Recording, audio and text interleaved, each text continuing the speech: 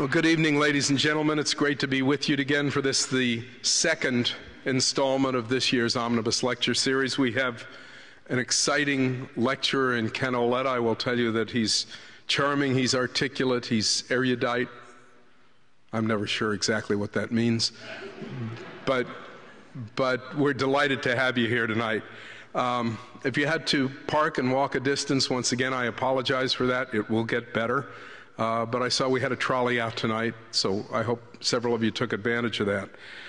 Um, you may be aware, uh, and you may not, that our speakers have another audience. They meet with students, and Mr. Auletta met with one of our communications learning communities classes, a class today, and, uh, and had a wonderful time with the students. So realize that we try to make this an educational experience throughout the university, and that's what we insist on with our omnibus lecture uh, speakers. As always, I want to thank the English Bonter Mitchell Foundation. Um, they've been with us from the beginning.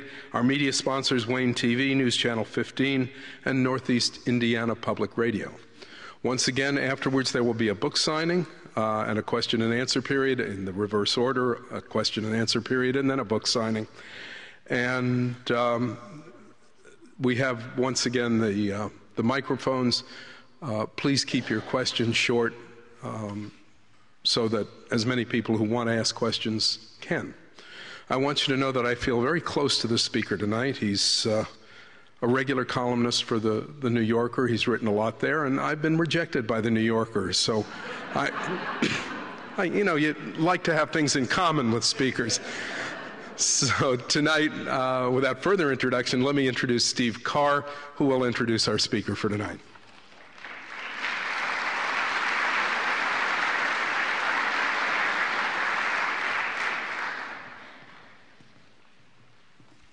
My name is Steve Carr. I'm an associate professor of communication. And before introducing tonight's speaker, Ken Auletta, a news flash from August 31st, 1998.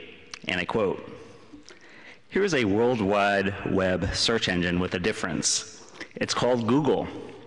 And although it's a plain looking site, you might enjoy a visit.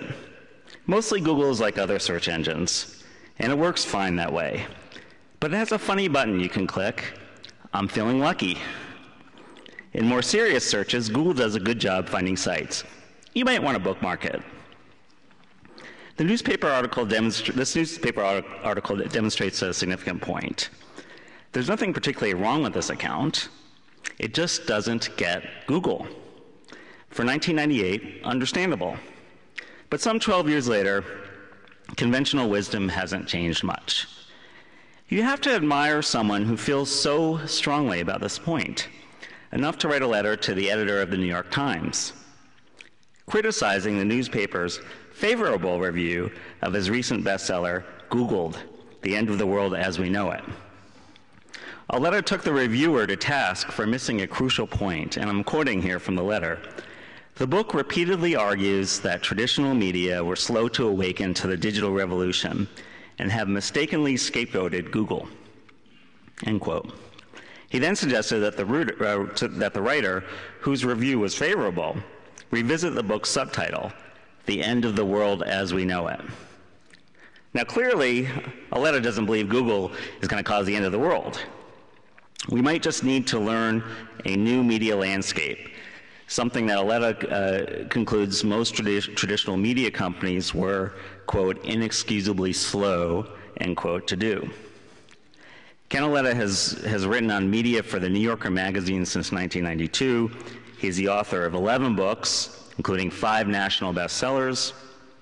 Before becoming a writer, he served in numerous roles in the Peace Corps as special assistant to the, under, uh, to the U.S. Undersecretary of Commerce in Robert F. Kennedy's 1968 pres- presidential campaign, helping Howard J. Samuels twice lose the race for governor of New York, and that's the letter's words, not mine. As executive director of the New York City Off Track Betting Corporation. In 1974, he became chief political correspondent for the New York Post, then weekly columnist for the Village Voice, then contributing editor for New York Magazine. He's a regular fixture on such programs as Nightline, NewsHour with Jim Lehrer, and The Charlie Rose Show. He is a correspondent for one of the finest investigative journalism programs on American television today, PBS Frontline. I'm very happy to present to you the person Columbia Journalism Review has deemed America's premier media critic, concluding that, quote, no other reporter has covered the new communications revolution as thoroughly as has Ken Auletta. I present to you Ken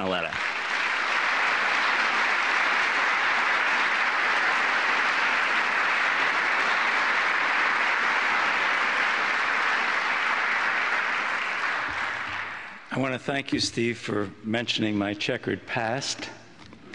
And the chancellor, you know, we ha- I have a letter actually from the editor of the New Yorker who'd like to see your pieces again. Uh, you know, I, am just a hick from New York City, and, and I've never been to your campus, um, never been in this magnificent hall before I visited this afternoon.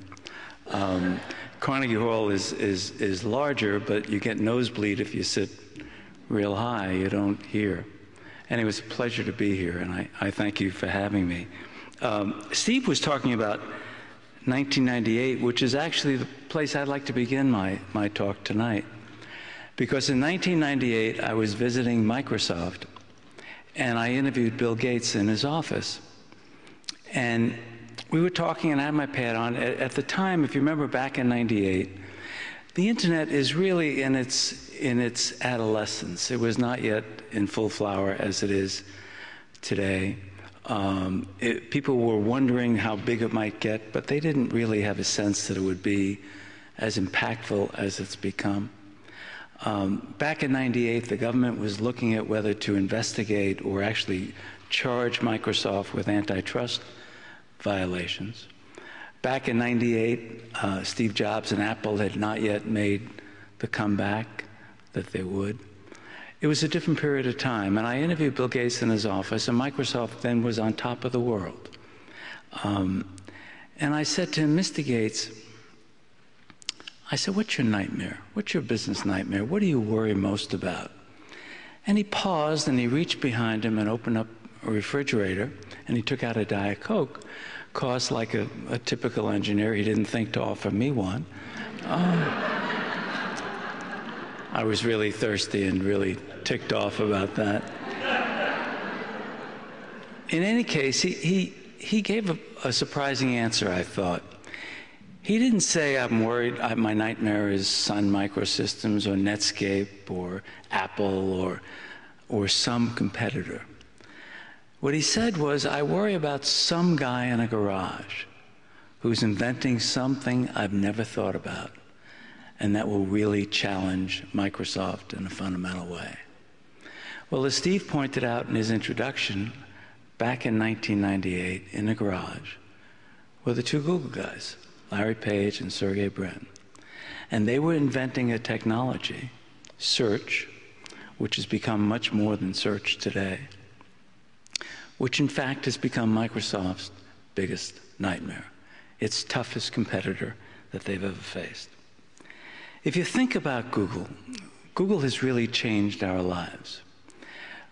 I use the phrase to, to, for the title of my book, Googled, because the world really has been Googled. We don't say, I'm going to search for something. We say, I'll Google it. And if you think about Google, if you think about what the web browser did when it was introduced in 1995, it made all the information on the internet available. But Google came along and made it accessible, made it easy to find, made it as easy to find as that remote control clicker that transformed all of our television sets. And if you go to the third world, and you go say that parts of Africa, nations in Africa, you will find people, schools that can't afford textbooks. You will find countries that can't afford wired connections. They can't afford a cable connection or a, a telephone wire. But they can afford inexpensive cell phones.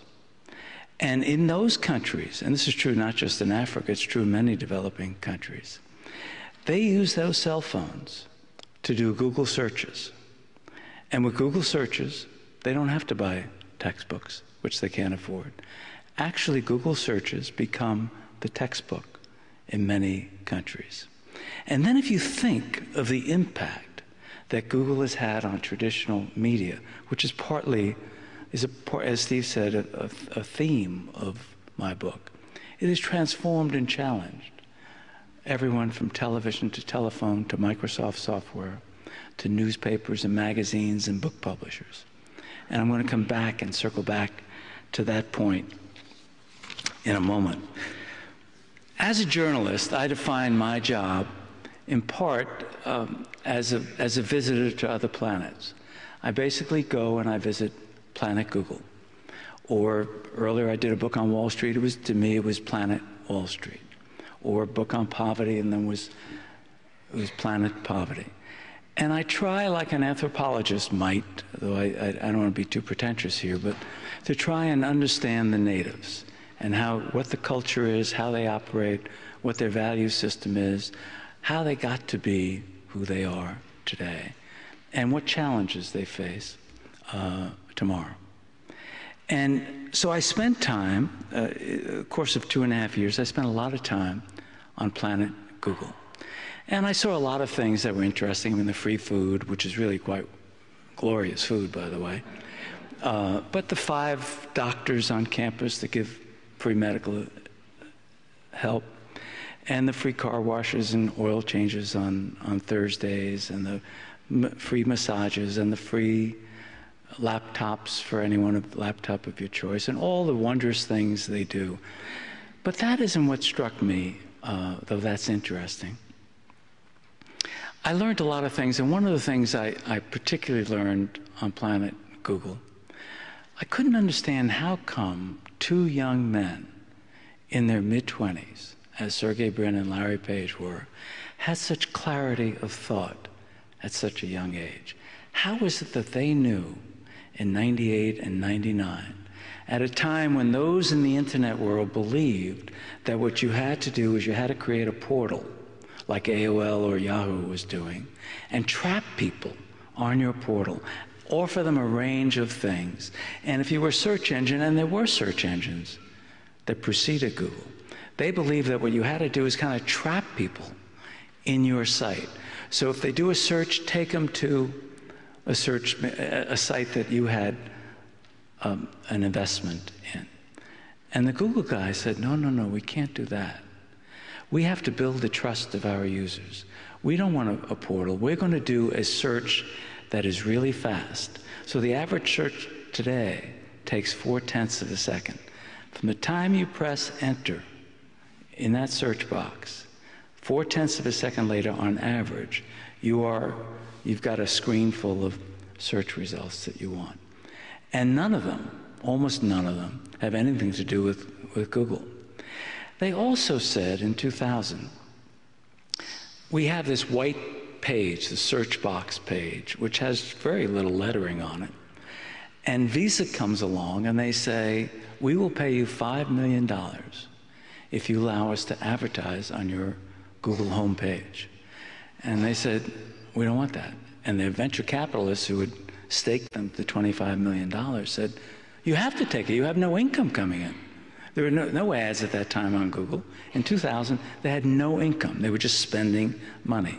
And they said, no, no, it is real important that we build user trust and we build an audience and we'll figure out as time goes on how to make money. And lo and behold, they had the clarity to understand that the one of the most important reasons for their success would be that they built consumer trust. You trusted them. It was cool. And that's real important. I learned that, but I learned something else. I learned the importance of engineers. I would sit in meetings at Google, and the engineers would speak, and I had my tape recorder, my digital recorder going, and I maybe understood half the words they spoke. I literally, was, they were talking Swahili to me. I had no idea what they were saying. And, and literally they're talking, and I kept on thinking as I'm sitting there, of the guy who replaced Steve Jobs at Apple. His name was John Sculley. He was a marketing guy. And I kept on thinking, I'm John Sculley. He didn't understand them either. That's why Apple got in trouble.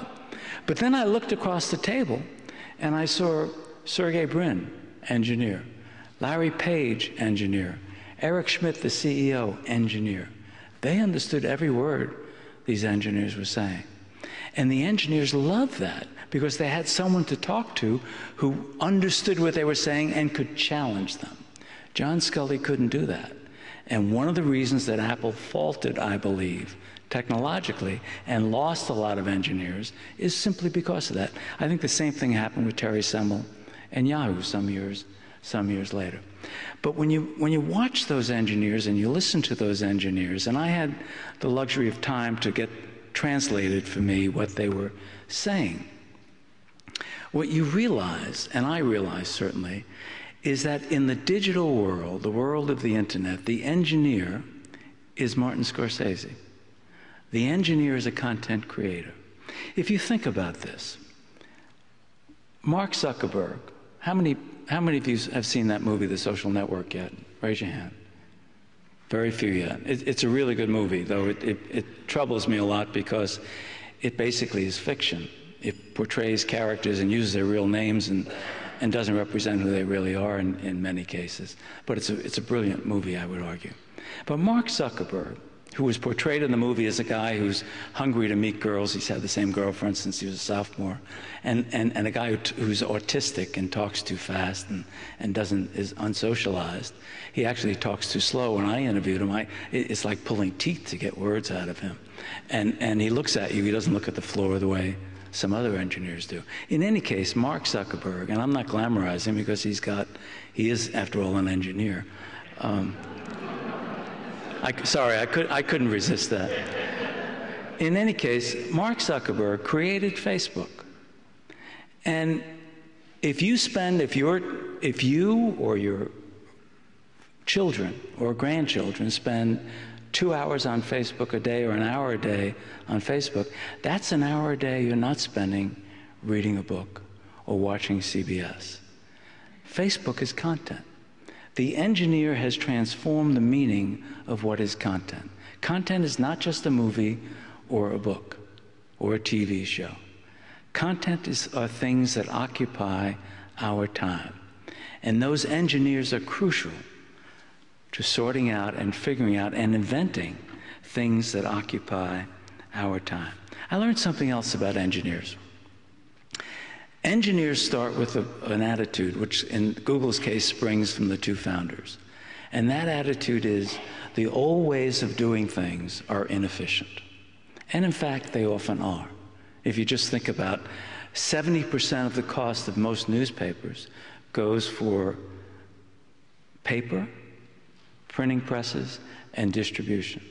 If you could eliminate them and have a paper electronic newspaper, you save a lot of money. Now, whether you can make money and, and generate the same kind of advertising and subscription revenues you do from printed newspaper is one of the outstanding questions, and I'm going to revisit that later in this talk. But in any case, so the engineer starts with a simple question. Starts with the attitude, but then comes up with a question. And the question is, why not? Why not have an electronic newspaper that saves 70% of the cost and allows people to access information minute by minute as it's happening. And not just access information, but actually have, because of the internet platform, have a multimedia experience. They're not just reading something, they can actually watch video and listen to audio and go to the, and, and, and on the iPad with their finger tap and, and, and call up the archive of that newspaper. Isn't that cool? Think about books. Why not have electronic books? Fifth, for, roughly 40% of all the books, hardcover books that are published, are returned. In order to get bookstores to carry books, publishers had to agree to take a return policy. They would take back the unsold books. They had to do that to protect the bookstores. Well, 40% of the costs of books today are returns. So if you had an electronic book, which sold more cheaply, and where authors get a larger royalty, the average royalty on a hardcover book is 15% of, each, of the sale. And on, on an electronic book, it's 30 to 40%. So isn't that kind of cool? Now, I'm going to come back to the impact on bookstores and on book publishing, but nevertheless, it is certainly a more efficient system. Get rid of the paper, get rid of the printing presses, get rid of the returns, get rid of the warehousing, make it more efficient. Look at music. The music companies insisted for years that they should that you had to buy an entire CD. Uh, sorry, $16, 18 dollars, whatever it is. That's good. Buy the whole thing because the artist wants you to experience the oeuvre, you know, the whole everything they do. And along comes iTunes, Apple's iTunes, and they say, "Hey, 99 cents you can buy a single digital recording." And by the way, take 25 seconds to listen to any of the songs you may want to buy for free. And if you want to buy it, just click here and, you, and you've got it. It transforms the entire music business and it better serves consumers because we don't have to, we're not stuck with the business model, this decrepit business model that the music company said. Think about Microsoft, and one of the reasons why Google is a nightmare to them, they come along and they say, hey, why spend four or five hundred dollars on, on packaged Microsoft software? Why not store it in the cloud? Well, what is the cloud? The cloud is simply a server. Google has all these data centers all over the world. And they say, look, we have extra storage capacity. You know, the way you store information or retrieve information on your handheld device, it's, it's in a server. You just, and it follows you. You can access it anywhere. And let's do the same thing for Google Cloud Computing. And instead of charging you four or five hundred dollars, maybe we'll charge you fifty dollars and it'll always be available to you on any device, no matter where you are. That transforms Microsoft's business. Telephones, free telephone calls. Google's YouTube, 40% of all the, of all the video online comes over YouTube, which Google owns. And they say, well, why not have access to, as you have an access to a library of books, why not have access to a library of everything that's on television or movies. You got copyright issues, and I'm going to come back again to that issue.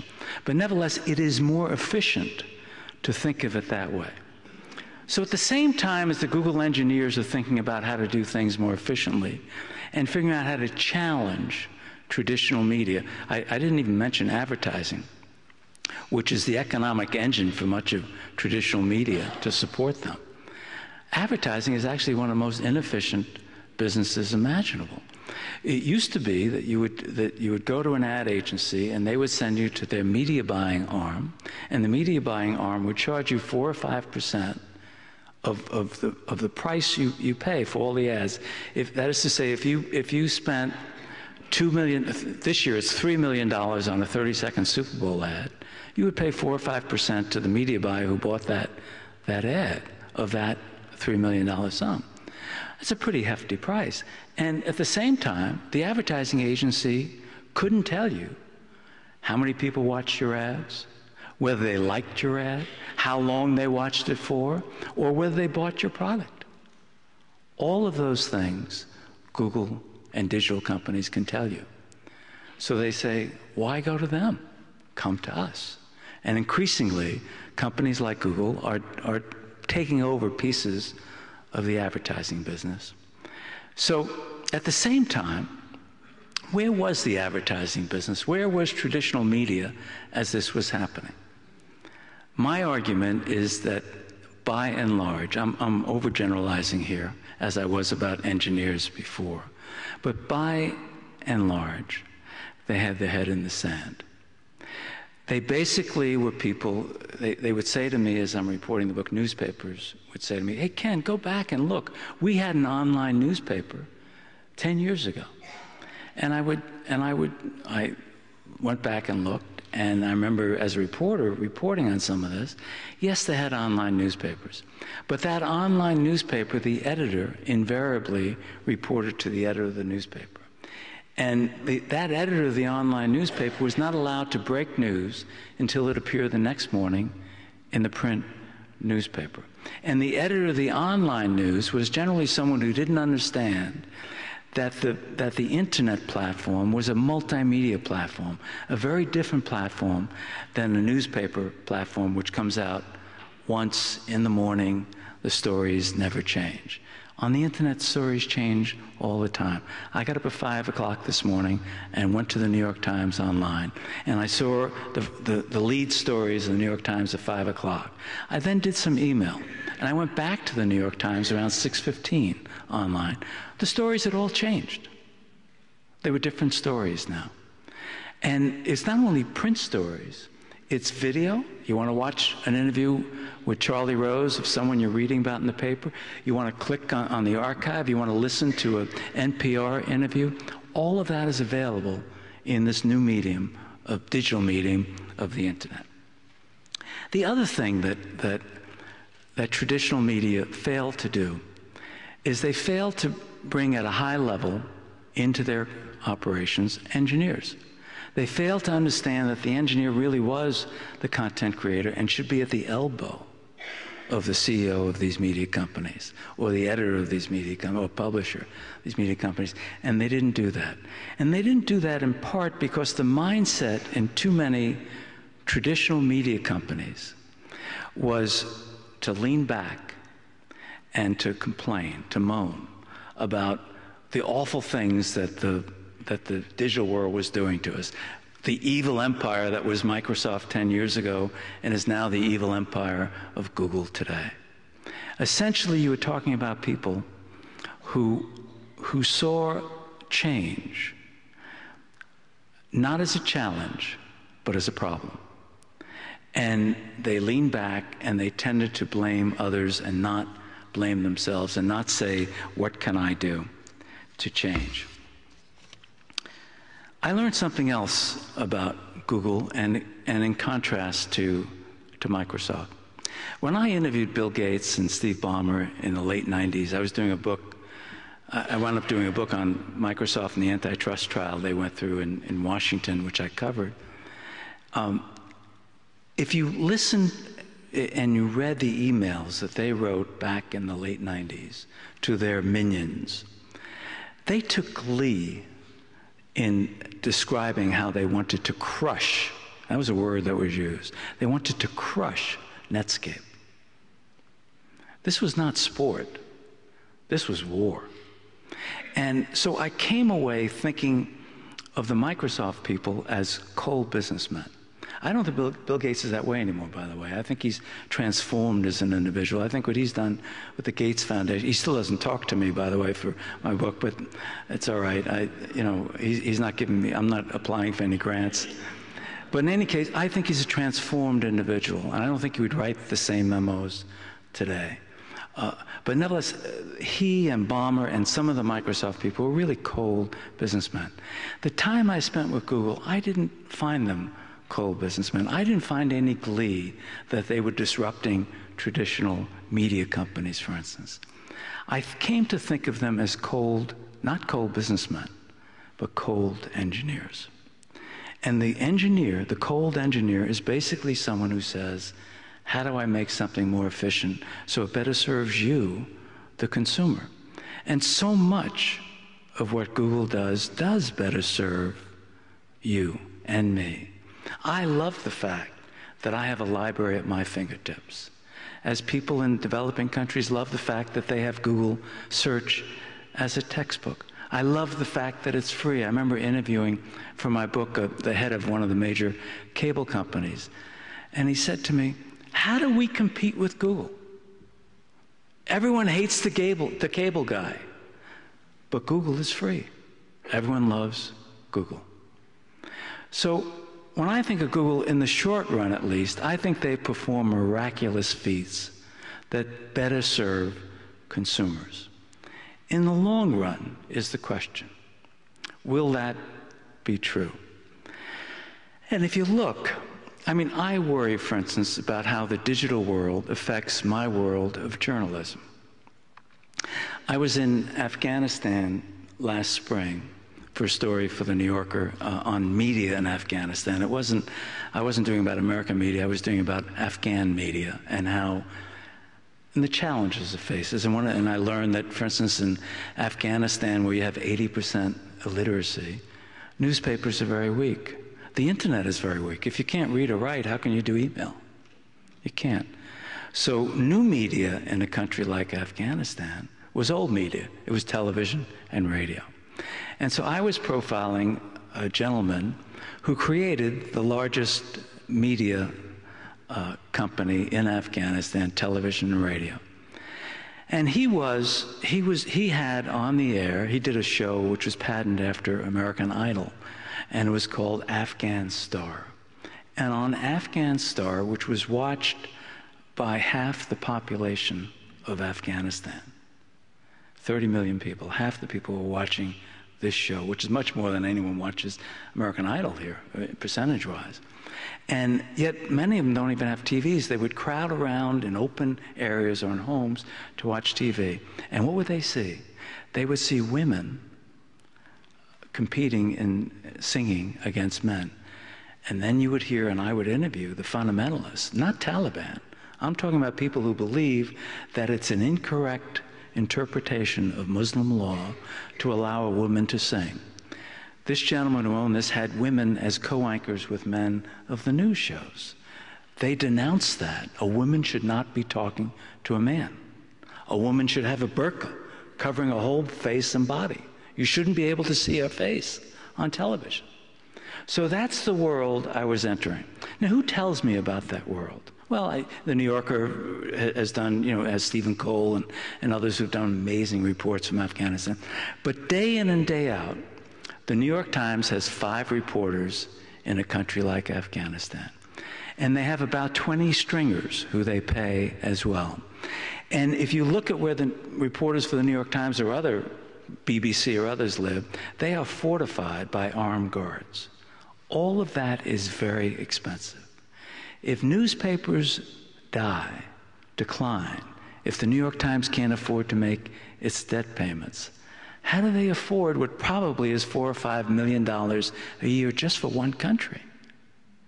And yet, if they die, if they don't report on that country, what happens to us?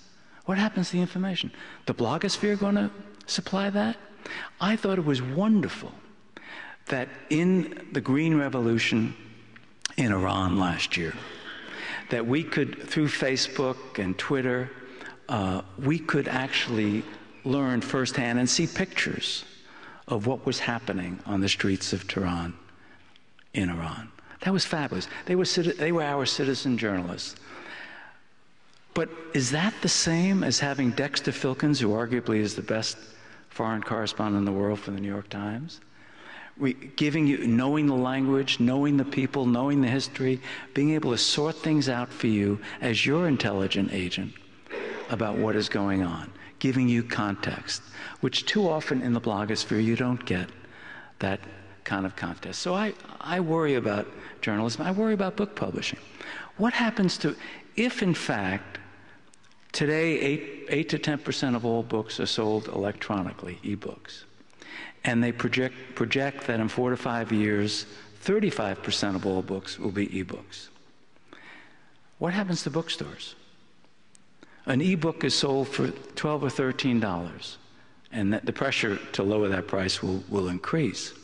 That same book in a bookstore, hardcover, is $26. How does that independent bookstore, many of you know the owners and proprietors and people who work in those stores, how do they compete for $26 with a $13 book? They have overhead to pay, employees to feed. It's very hard. And how do they do an ebook? It's very hard to do that and figure out how they compete. And yet, if you lose bookstores, there are 1,400 left, independent bookstores. I'm not talking about the chains, I'm not talking about Walmarts. But 1,400 independent bookstores. When you lose bookstores, you also lose something the publishers also care about, which is serendipity, the serendipitous purchase. You walk into a bookstore thinking of getting one book, and you suddenly pick up another and you wind up buying it. So that accidental purchase, that serendipitous purchase, is very important to the book business. Think about music. What happens? I mean, I understand, you know, you, abstractly, no one likes the idea, at least, of, of, of piracy in music, of people illegally downloading music. And yet we know it goes on rampantly. But what happens to the, per- the musician who says, Hey, how can I afford to be a musician when I'm not paid for my work? Well, then they say, Well, then you go out, which is what they've been doing in the music business, go out on the road and do concerts. But that's a business that seems to be drying up now as well. So you have real questions who's going to produce the content if they're not paid for it? I had a wonderful exchange at one point, which I tell in my book, with Sergey Brin, the co founder of Google. He came in for our second interview. He, he rollerblades into his meetings, honest. And, and um, you wouldn't expect that of an engineer, right? And I'm making fun of engineers, I really revere them. Uh, I just don't want to have dinner with them. But, but he rollerblades into the meeting and he drops his knapsack down. He says, Ken, before you begin, let me ask you a question. I said, What's that? He said, Why don't you publish your book for free on the internet? You'll get many more readers. It'll be free, it'll be great. I said, Yeah, that's interesting. I said, Let me ask you a question. I said, I'm on a leave of absence from the New Yorker to do this book. And I've made 13 trips out here, each of seven to 10 days duration. Pay for a rent a car, pay for a hotel, pay for the meals. When I'm taking people out as a journalist, I can't let them pay for me. Who's going to pay me a salary? He says, Oh. I said, Let me ask you another question, Sergey. I said, Who's going to edit my book? Oh. I said, who's going to do my book promotion tour? Oh. Who's going to do my index for my book? Who's going to legally vet? Oh, oh, oh, oh, oh. Wants to change the subject at that point. So, what I learned from that? I learned, and this goes back to my cold engineer rather than cold businessman point. Sergey Brin is a young man who's lived, he knows one thing brilliantly. He knows Google brilliantly, and he knows the digital world brilliantly. So it's not just Google it, one thing he knows, but he knows more than that. But he doesn't know about the world of publishing. He doesn't know about the world of copyrights, the world of privacy. And so suddenly I'm confronting him with real, real questions, real answers to, to his naivete. And so I think he's kind of taken back by that. But it also tells you something else. It tells you that, that he, like a lot of people in Silicon Valley, grew up with the notion that information should be free and available to everyone. That's why they decided in 2003 to digitize all the world's 25 million books. Wouldn't it be cool, they said, if everyone had access to every book ever published? Well, it really would be cool. I love the idea. It's great for us. It's great for consumers that any book, even books that are out of print, would be back available to all of us. And that's wonderful. On the other hand, is it there? Can they just take that book? What about copyright? Can they just post anything they want and make copies of it? And, and, and therefore increase the chances of piracy for that book, the kind of piracy we've had in the music business? Well, of course they could. So what happened? The publishers sued them. And eventually, Google did something that's very significant, which segues to my next point. Google settled that lawsuit against the publishers and the Authors Guild by agreeing to pay $125 million for the copyright, the right, rewarding people for their copyright and giving them the right to digitize books and giving them a percentage of the sale of future books. That was a very significant admission on Google's part and, and a really important transition for them and for the digital world. Because they're really saying that information is not free.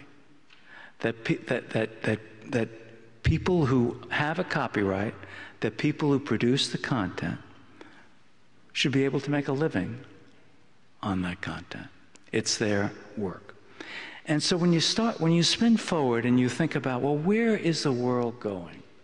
What is going to happen to the digital companies like Google on the one hand, so-called new media companies, and on the other hand, the old media companies, be they the networks or the newspapers or the book publishers, or the telephone companies or the advertising agencies or the movie studios, what's going to happen to them in this digital world?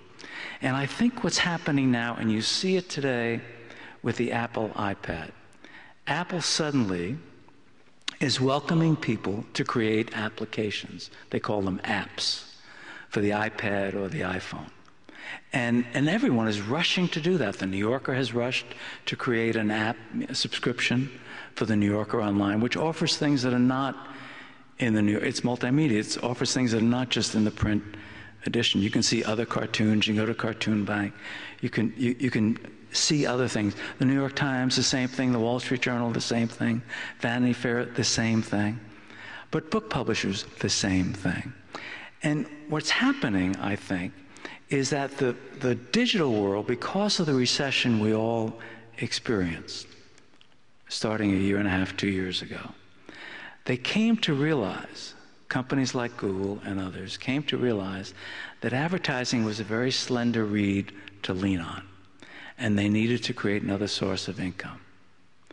For instance, if you think about YouTube, Google's YouTube, YouTube they purchased for $1.6 billion in 2006. Yet it lost money every year after that, and last year, 2009, YouTube, which produces 40% of all the videos online. It's humongous. But YouTube last year was projected to lose a half a billion dollars. A half a billion dollars. Google was staying with it because it said, like they said with search, we'll figure out a way to monetize it. How have they figured out how to monetize it? This year, for the first time, YouTube will make a small profit and it's on a trajectory to make a lot more. Why? Because Google came to realize that the engineer didn't understand advertising. They didn't understand that the advertiser would want to know, have predictable places to place their ads. They don't want to put their ads next to a, a user generated content of, of some guy's dog pooping on the street, right? They wanted familiar, they wanted safe, a safe harbor. And Google realized that. So Google says, well, in order to do that, we need more professional content. You can buy movies pay per view on, on YouTube today. And I predict that within a couple of years, YouTube's major competitor will be Netflix. They're coming right at them because they realize that if you want to have advertising, and you want to have not just advertising, but another source of revenue, you need a subscription model as well. So at the same time, companies like Google or companies like Apple are realizing they need multiple sources of income. Apple has it now. Apple's getting big into the advertising business with the iPhone. And they bought a, a, a, a digital advertising company in order to create ads for the iPhone. And they already sell apps, which they get a piece of, and they sell the hardware, which they get a, they get a piece of. So at the same time as digital companies are saying we need more content, old media companies are saying we need to figure out a way to charge for our content online. They're coming much closer together. Now, what we don't know is whether when they come together, as they are doing, it will work. We don't know when the New York Times introduces a paywall that you can only read the Times if you're online if you subscribe to the New York Times. We don't know whether they'll be able to make money doing that. The Wall Street Journal makes money doing that. The Financial Times makes money doing that. But they are publications whose business audience, in many cases, can write off that as a business expense. So we don't know whether that's going to work to help save newspapers. We don't know whether the publishers move to, to insist that Amazon, that they can control the price of electronic books which they compelled Amazon to do when, when the iPad came along in late, uh, was announced in late January. Will that work? Will they be able to maintain a, a healthy enough price uh, to work? Will you be able to sell ads in the digital world that that make up for the for the that make enough income to make up for the lost income you get in subscribers and advertising in the print world? And just to highlight that fact quickly, the average reader of the New York Times spends 34 minutes online with the New York Times. The average reader of the New York Times in print spends 35 minutes on the New York Times. You say it's only a minute difference. Not true.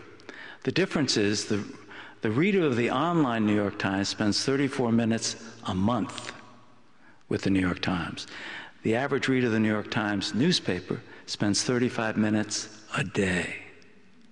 Now, what that means is that the advertiser says, it's not worth it for me to spend the same amount to pay the same amount for an ad online as I pay for an ad in the newspaper. So an online ad generally generates only about 10% of the income for that same ad in a newspaper.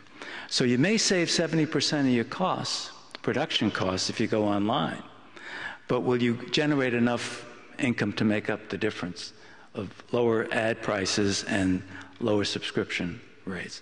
Those are some of the questions we don't know and can't know the answer to. But we know this. We know that the Google guys, like a lot of people in the digital world, have grown up. They've come to realize, or if they haven't realized, certainly I tried to help them realize it by what I wrote in my book, that the, the, the vice of an engineer is also their virtue. The virtue is they look for efficiencies and they're brilliant at figuring them out. The vice is that they often, often lack emotional intelligence. They don't understand what an advertiser wants with an ad, which is the mistake they made at, at, at YouTube. They don't understand why someone would be concerned about copyright which is the mistake they made with publishers and with newspapers. They don't understand why someone would be concerned about their privacy because of Street View cameras going on on every street all around the world. And they don't understand something that Bill Gates didn't understand in 98 that government is the 800 pound gorilla. And government has legitimate concerns in protecting all of us on issues like privacy or copyright or market share, market domination, monopoly issues. How all this plays out, and it's not just the American government we're talking about, we're talking about the government of China or Iran or, or, or the European Union, etc. How all this plays out, we don't know. And anyone who stands up here the way I am and pretends like some guy on a cable talk show, let me tell you what the future is, arrest that guy. Really because no one knows. But this we do know. We know that what is different about the time we are living in is the velocity of change. I mean, just think about it. It took electricity seven decades to reach 50% of the American public. It took the telephone five decades to reach 50% of the American public. It took television three decades.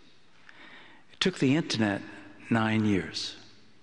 It took Facebook five years to reach 550 million users. That velocity is extraordinary. And I didn't interview a media person or any person in any business who, if you scratch deeply enough, when you go back for that second and third interview, which, you, which if you have the luxury of time, as, as I do for a book, you can do. I didn't interview one person who wasn't scared. And by the way, it's healthy to be scared. But I learned something else, and it goes back to what I said before about the mistakes of traditional media companies. I learned there are two types of people in this world. There are people who lean back, oh, woe is me. They tend to be pessimistic, they tend to blame others. And there are people who lean forward. And they lean forward and they say, This is not a problem, this is an opportunity. Let us figure out how we can ride and surf the digital wave rather than crashing into it. Let me leave you with a final thought, and it's one expressed by Albert Camus the great French writer and resistance fighter in World War II. He wrote once that a good hope is better than a bad holding. Not a bad thought to leave you with. Thank you.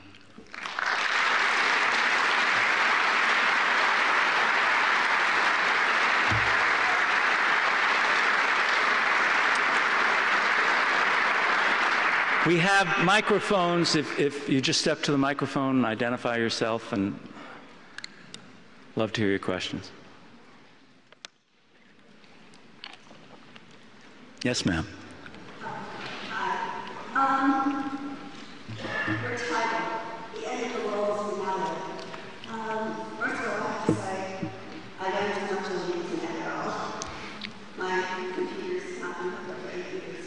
But part of the thing that got That means you don't tweet. That's good. um, what I'd like to know is what does the media mean for the social glue of a community and then a national community? I just heard recently on NPR that there are now search engines that are challenging Google people who don't want to be exposed to thoughts other than their own, like Christian-based websites, Islamic-based websites, Jewish-based websites, or if you go in and type in homosexuality, you either get nothing but negative, hateful things or nothing at all. So I'm saying that as a community, how do we maintain a sort of commonality that keeps us together in times of stress? with these sort of news cherry picking here. And you can only look at this here if you want to hear it. That's my major question. You know, y- your, your provocative question brings me back to uh, that famous scene of Lyndon Johnson um, in 68 when he was watching the evening news, Walter Cronkite. And Walter Cronkite uh, basically condemned the Vietnam War as unwinnable. And Johnson said to an aide, We just lost the war because we lost Walter. Walter Cronkite was a common hearth for all of us to get our information. That world is over. There, is no common source of, income, source of information. One of the worries that I have, and I'm going to give you the other side of the argument too, because I think, as F. Scott Fitzgerald once said, that two, sometimes the mark of an intelligent person is the ability to keep two or more thoughts, disparate thoughts in mind at the same time and still function. And I'm not accusing myself of being intelligent, but I do think that that that things are complicated. But one of the worries I have about journalism, which carries on from my point about New York Times and Afghanistan and, and how expensive it is to cover the world or cover state capitals or do investigative reporting, which is all vital to us as citizens, is that as the audience bifurcates and splits, increasingly you see happening what's happened on Fox News or MSNBC. People say we need to have an identity. So Fox says we are the conservative network, in effect. They, they won't admit that, but that's, that's who they are. And MSNBC is a liberal network. They won't admit that, but that's who they are. And so they're creating a niche, a successful niche, very small niche, by the way. Fox has roughly an average of 2 million viewers in the evening. O'Reilly has 3 million. He has more. Uh, but, you know, and, and MSNBC is half that. But and, and, whereas the evening newscasts are roughly 24, the three newscasts, 24 million every night at 6:30, shrinking dramatically, by the way. And so inevitably, people are not getting a common source of information, and, and inevitably, people don't trust journalists, which is partly journalists' fault. You know, the wise guy stuff. I mean, you watch someone on cable bloviating. How are you going to trust that? Is that a journalist? Public thinks he or she is a journalist. I would argue Bill O'Reilly's not a journalist but he would argue with me and claim that he is.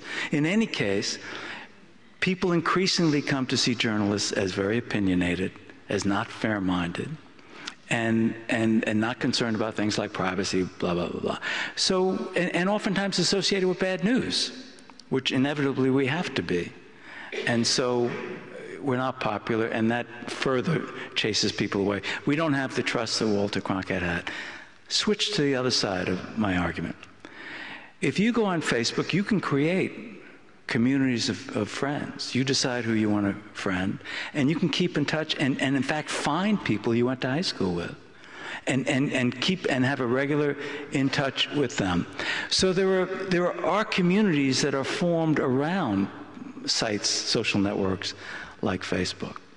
On the other hand, Facebook is a narrowing of community generally. You may be pleased with that community, but it's not a universal community. And, and that's worrisome. Yes? Hi, um, actually, I got a very similar question, uh, but the other side of it. Um, when you're on Google and you send emails, uh, Google keyword searches your emails so they know if you're interested in buying motorcycles or sports, and they start giving you advertisements and actually having popular news stories come up that they think is tailor made to your interests. But what it ends up doing is creating a bubble that your reality, the world that you think, just becomes self selected, not because you are choosing it, but because Google assumes that you want that, and they start then feeding you information they think you like. And very quickly, your reality in your world shrinks, not by choice, but just by happenstance. That serendipity you talked about with bookstores, it doesn't exist. So, how can we go into the future and how can we have Google that continues to try to make money, uh, be kind of the cold engineers, yet at the same time allow room for this serendipity that we can still feel like we're interacting, going through page 1 to 12 in the New York Times? A, a true story. I, I had, um, uh, in 1995, I was interviewing in Dallas before the American Society of Newspaper Editors Andy Grove, who was the CEO and chairman of Intel. Brilliant man. There were a thousand newspaper editors from around the country in the audience. And Andy Grove loves to be devilish. He loves to be provocative. So I said, Mr. Grove, in the future, 95, the internet really began in, uh, in popular form, consumer form, in 91. So it's just coming on. People are talking about it. It wasn't as big as it was in 98, and 98, as I said earlier, wasn't, wasn't very big either. But there was a sense of dread in the, something is changing here. What is it? So I said, Mr. Grove, I said, in the future, what's the value of these thousand editors in this room? And without missing a beat, he said, zero. I don't need them. What do I need them? I don't need, he said, an intelligent agent to tell me what to watch. With the internet, I can watch anything I want, anytime I want, on, and I can choose what I want. I'll create my own Andy Grove online newspaper. And every day we push to me subjects I'm interested in. Health. I'm interested in health. I'm interested in sports. I'm interested in business. Those, that's what I want. I don't want that other crap that these elitists think I want. Switch forward three years. At another forum, I'm interviewing Mr. Grove, and I read him his quote from 95. I said, Mr. Grove, do you still agree with yourself? And without missing a beat, he said, I was totally wrong. I said, why? He said, because I didn't understand, and this is the word he used, the power of serendipity. I didn't understand when I said that, that I, as a citizen, would need to know about things that hadn't happened yet like Rwanda, like Serbia. I didn't understand that the internet was a blizzard of information, too much information. And I needed, in fact, an intelligent agent to help me sort it all out. That is actually, when you think about it, one of the more hopeful stories I could impart to you.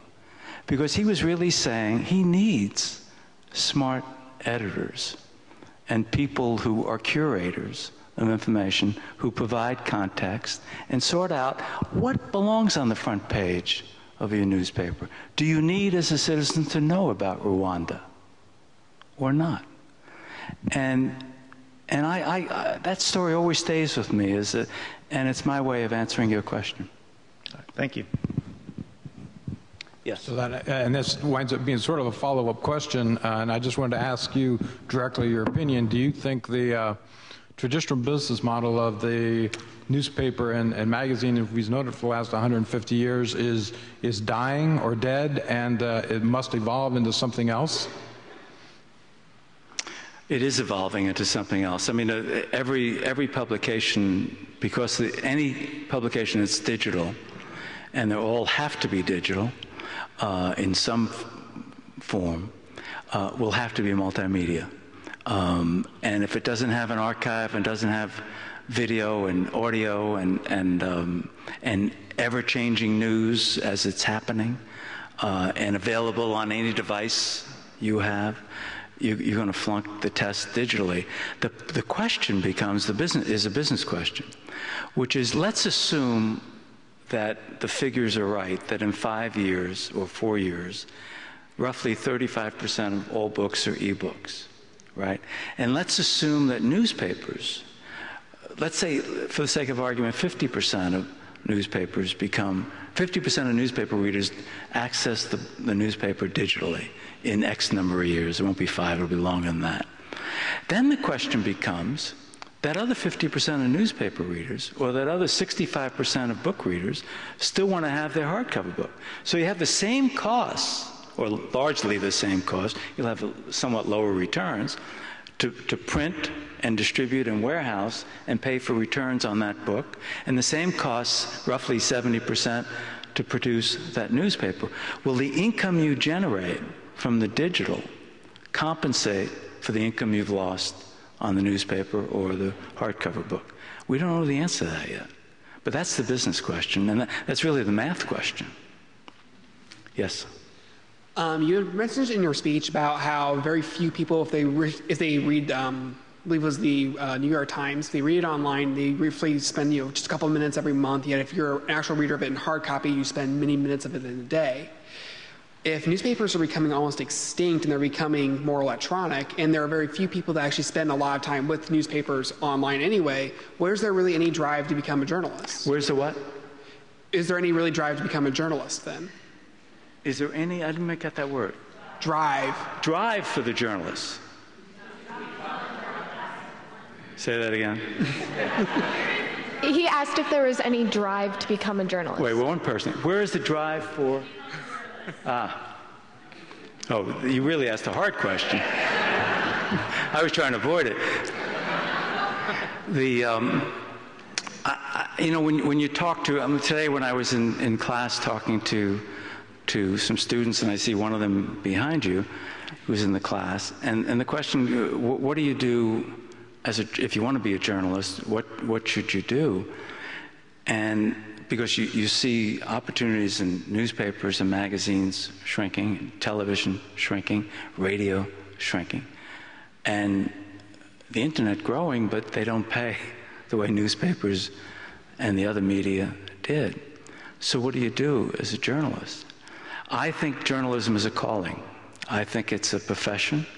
And I think journalists are, we don't get a, a, a degree like a lawyer does or a, a certificate like a doctor does. But I think we're supposed to be trusted to give you the best information we can and make professional judgments about whether that information is fair, balanced, you have the right sources, etc. So, but I think one of the things that young people who want to be journalists have to do, and hopefully they'll still feel it's a calling, is, is to be trained in multimedia. They can't just think of themselves as a print reporter. Yes, it's important to be able to write well, and it's important to be able to report well. And it's important to have a personality that people want to talk to you. I mean, if you have a personality that, that it's like going to, visiting with you is like going to the dentist and they're drilling your teeth, you know, people are not going to open up to you. But I think you've got to learn how to, how to uh, alone to take photographs or, or video at the same time as you're taking notes or recording. And you have to know how to uplink your stories. You just have to be multimedia trained. And increasingly, journalism schools are training their, their reporters to be in multimedia, and I think that's a good thing. But I think one of the questions is whether I think you can make an argument that, that, that after Woodward and Bernstein and Watergate, journalism became too glamorized. And, and people wanted to have this idea, you know, we'll bring down governments, we'll, we'll become Woodstein, we'll become, you know, like them. And, and a lot of journalism is grunt work.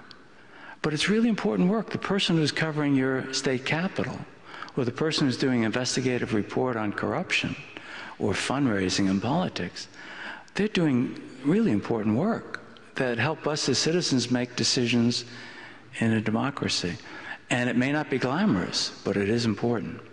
And they have to feel that sense of importance. But then they have to understand the way the business is changing and, and make sure that they are attuned to that. I'm a regular reader of the print version of the New Yorker, and I always enjoy your columns. Thank you. I also work uh, at the public library here in Fort Wayne, and given all you've said about books, electronic books, information at people's fingertips, if you were in my shoes, would you be nervous about your career choice? Yes. And, and let me tell you why. Um, and, and it's actually, there's a larger point here. Every business has to ask themselves, every profession has to ask themselves, am I a superfluous middleman? With Google, the question for the librarian is what do I need a librarian for if I could Google my information? If I'm a travel agent, I, I, as a customer, I say, why do I need a, why do I have to pay $25 fee to the travel agent when I can go to Expedia and buy my tickets without paying a fee? Why do I have to pay a real estate agent several percent or more when I can go online and look at the, not only look at the apartments and every feature of that apartment, but see what comparable apartments sold for in the same building or the same neighborhood for houses. So the question that everyone has to ask themselves is what is the value I add that the digital world can't match? And there are some things librarians can come back and say, Google, you can't match me. You know, when you think about it, Mr. Google, your search is terribly inefficient in the name of efficiency. When I do a search and I get back 10,000 results, that's useless for me. I don't get past that first screen. And yet there may be some valuable information on screen two, three, or four, which I'm never seeing. It's too much information. It's like the Andy Grove problem. I, it's a blizzard of information. I need a curator to help me sort out what's important here. A librarian is a curator, a good librarian. Just as a good bookstore salesperson is a good curator. Travel agent, when I am traveling economy class, I use a travel agent. I pay that $25. Why? Because that travel agent can get me a bulkhead or an exit row seat where I can take out my laptop and work. And Expedia and online can't do that for me. You have to do it, wait till you get to the airport to see if you can get those seats, and often you can't. So that's the value that my travel agent provides me that the digital world doesn't. All of us have to ask that question. What is the value we add that these guys can't match? And these guys are good. But the weakness, again, of the engineer is, is, also, is their virtue, but it's their weakness, which is they, they tend not to be as strong at at, at things like emotional intelligence and understanding things that they can't measure. Judgment you can't measure. Do you think that even though Google has participated in new age media, it's sort of missed the mark and the opportunity to participate in social networking sites like Twitter and Facebook? Yes. Um, I think if you, when you scratch the Google team, as I did, what they're really worried about they're worried about a number of things in the future. And, and, one of the reasons they're a great company is that they do worry. They're not complacent at all. Um, but they are worried that social networks can displace them and displace them in search. If you think about it, if I'm doing a search and I, I see a camera I might want to buy, let's say it's a Sony camera, and I go on Google and I put in the name of the camera and I get back 20,000 results. My eyes are wide. I mean, what do I do with that? But if I go on Facebook and I friend, I go to my friends and I say, Does anyone know this Sony camera? And I get back a dozen responses from people I know whose judgment I trust. Hey, that Ken, that is a fabulous camera. I bought it two months ago. I use it every day. Let me tell you the features I love. And you get an echo chamber of people who say that, or say the opposite. We don't like it. That is a really efficient and menacing search for Google. And Google knows that, which is why last year they tried to buy Twitter and failed. And, and, but social networks are, are, are rival Google the way Google now increasingly is rivaling Apple.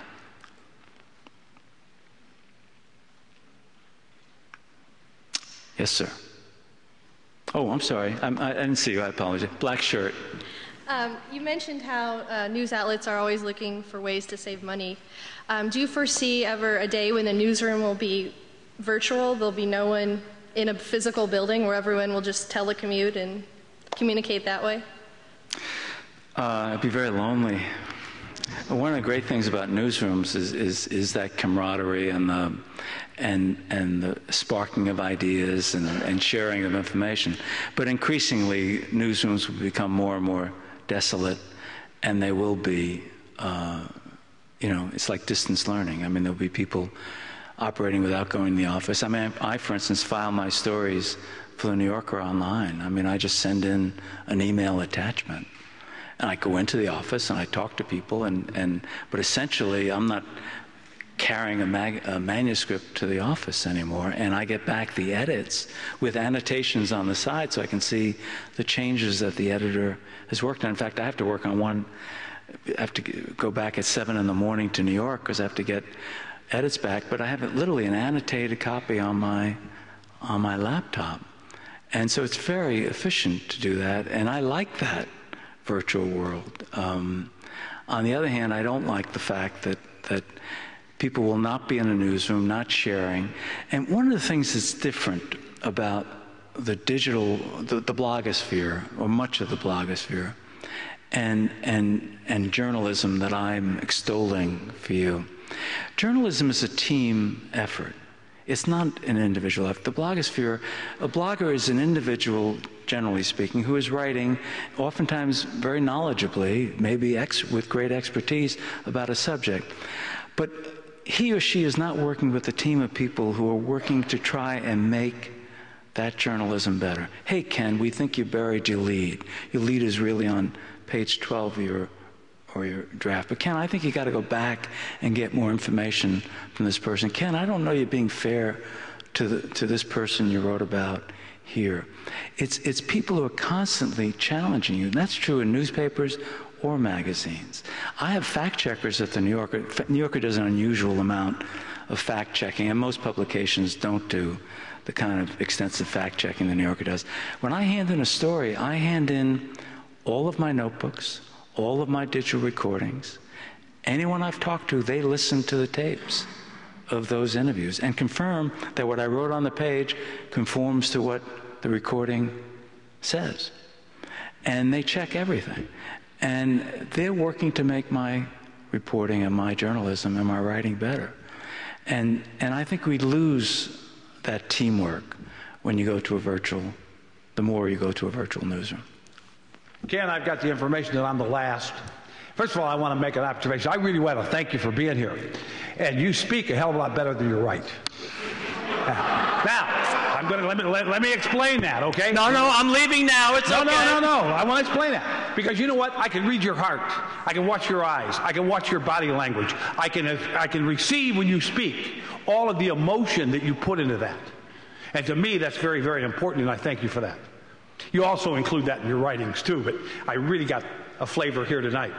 My question is this because I wasn't going to ask a question but, but you talked about. I didn't think you were going to ask a question either. Yeah, yeah, yeah. You talked about Sculley and Jobs and Wozniak. And you talked about the business person versus the engineer. And one of the things that I think about is if I'm sitting here as an engineer, what I want from that business person is respect, hope, trust, those kinds of ingredients, and an honest relationship. As I understand some of the relationships there with Mr. Sculley, there might have been some things from outside the job that affected that engineer's ability to look at him with trust and respect and honesty. Not only did he not understand the engineering language, and I, you know, I don't know if you want to comment on that or not, or. Uh, I, I, don't know enough about um, Sculley, uh, whether there were other issues. I literally don't know. Um, and if there was salacious stuff that I couldn't prove, I wouldn't share it, but I, I literally don't know anything about that. Um, I, I, know that he was a guy who came from Pepsi Cola, and he was a marketing guy. And, and he decided after a year of being Steve Jobs' partner, Steve Jobs recruited him. He decided in the mid 80s, and he decided that Steve Jobs was a micromanager, and Steve Jobs wasn't focused, he was just focused on things that possessed him at that moment. The truth is, he was probably right about that. Steve Jobs, in his second act, is very a very different guy than he was in his first act. He learned an awful lot about being the great executive he is today. The great, he's a genius, and I mean, he's not a pleasant guy, but he's a genius. And and who cares if he's not a pleasant guy? He's a genius. He's Thomas Edison, for us. And so, but I think one of the things that happens as you go through life's experiences, you find A, that people do have second and third acts, but you never think they would. Steve Jobs never thought he would come back That's right. in any way. He came back. Richard Nixon never thought he would come back. Hillary Clinton never thought she would come back. People come back all the time. And oftentimes they come back in a different form, uh, chastened by the things they've learned. And, and that's wonderful. And, and we live in a society where, unlike many others, where, where if you make a mistake, you're condemned. You know, Cultural Revolution in China, you're condemned. You're dead. Okay? We're not condemned. People have second, third acts. That's really cool. And I'm glad you saw, and I thank you for seeing some passion. And I'll tell my wife that you don't think I can write. thank you all.